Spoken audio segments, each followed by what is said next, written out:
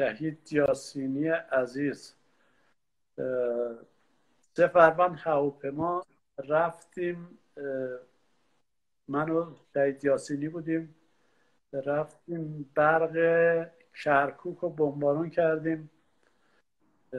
بعد زمانی که داشتیم برمیگشتیم شماره سه ما آقای اکرادی بود و آقای ناصر افزدی بچه های آزاده هستیشون زمانی که برمیگشتیم خب بالاخره دیگه فاصله افتاده بود بین ما داشتیم برمیگشتیم. بعد وقتی اومدیم خاک خودمون هر چی کار کردیم آقای اکرادی دیدیم جواب نمیده. گفتیم والا اونجا که زدیم برگشتیم همه سالم بودیم آره چی شد آقای اکرادی اینا؟ دیگه دو فروند اومدیم آدم نشستیم دیدیم آقای اکرادی خبری نشد ازش.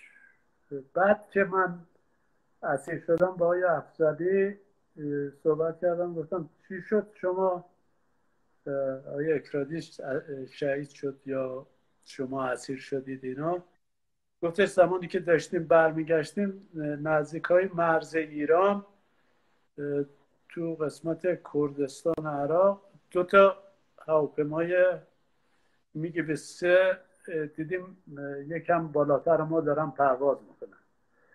بعد آقای اکرادی شهید اکرادی برگشته بود با فشنگ این هواپیما رو بزنه. وقتی بعد به سمت اینا اینا دیده بودن این هواپیما رو گفت راحت یه گردش گذاشتن اومدن تو دوم ما. و ما شروع کردیم لو لول رفتن و سرعتمون زیاد کردیم. بعد من حس کردم یه چیزی خود موتور هواپیما از عقب. خود انگار موشک حرارتی احتمالا زده بودم.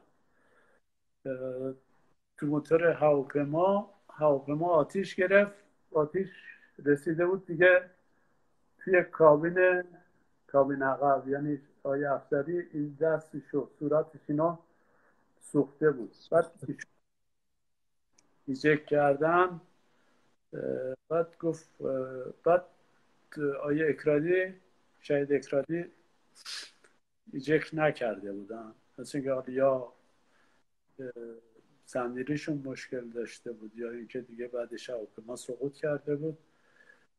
که اینو من به این خاطر گفتم که یه سری بچه ها فکر می‌کردن که شاید اکرادی رو بعد از ایجک کشتنش که اینطور نبوده بود.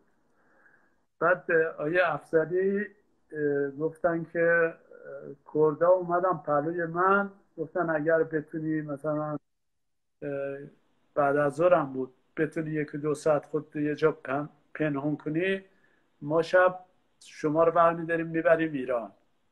ولی گفت ایشون چون گفت من سوخته بودم و اینا و کمرش هم آسیب دیده بود دیگه نتونسته بود. میگم نمی‌تونستم اصلا بلندشم را برم جایی برم اینا. حدود یک ساعت بعد با هلیکوپتر اومدم منو برداشتم بردم. و ایشون هم به خاطر اینکه بمب ناپال زده بودم یه مقدار بیشتر اذیتش کردم. مثلا ما رو مثلا حدود 45 روز یه ما 45 روز تو انفرادی تو استخباراتشون یا اطلاعاتشون نگه می داشتن. ایشونو چهار پنج ماه اونجا نگه داشته بودن. روی شهید اکرادی هم شاد.